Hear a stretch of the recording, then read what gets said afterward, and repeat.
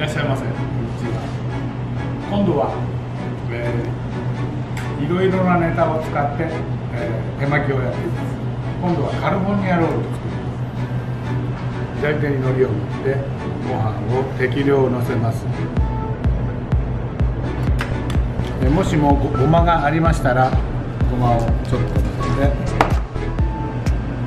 カニカマアボカド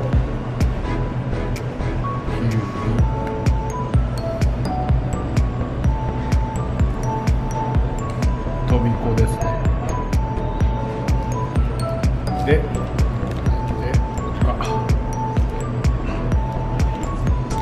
ちょっと入れすぎました。食べます。